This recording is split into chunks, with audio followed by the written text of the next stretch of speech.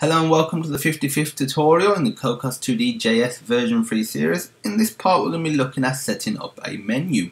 We'll be using the source code from the 7th tutorial. If you don't have it, don't worry, there'll be a link in the description. Cocos 2D JS provides us with all the desired functionality for creating menus.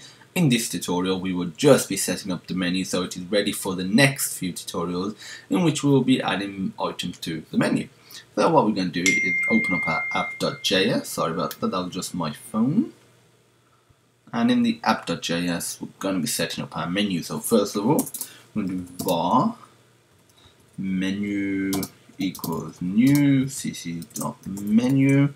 Uh, just one thing I want to mention over quite a few of the tutorials in this series, I've been doing new cc dot whatever it is, whatever and the that is a deprecated way. It still works fine, but the new way is using the keyword new cc.node and node.create. But again, it still works fine with the old deprecated code as well, but just something I thought I'd mention now that I've realized. Okay, so what we're going to do is set the position, so menu.set position, and for the position, we're going to simply do cc.p 0, 0.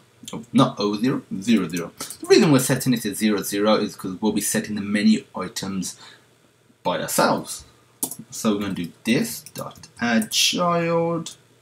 And inside we provide menu. Again, we're not going to be running it because we haven't added any menu items. More information regarding menus can be found in the Cocos 2D JS API guide. We now have a menu set up. In the next tutorial, we will cover adding menu font items uh, to our existing menu. If you have any questions, feel free to message us at support at sonarsystems.co.uk. The email will be in the description. You can comment on this video or just directly message us via YouTube, or the required links for source code will also be in the description. And as usual, thank you for watching and I hope you have a great day.